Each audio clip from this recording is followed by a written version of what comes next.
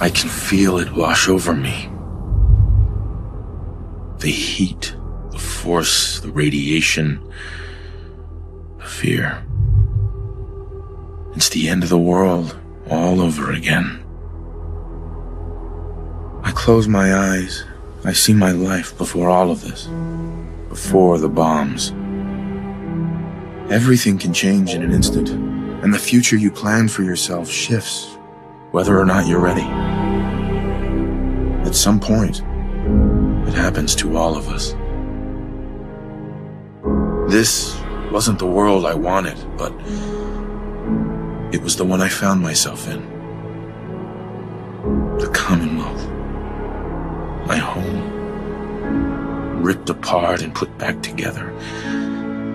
I thought, I hoped I could find my family, cheat time, make us whole again.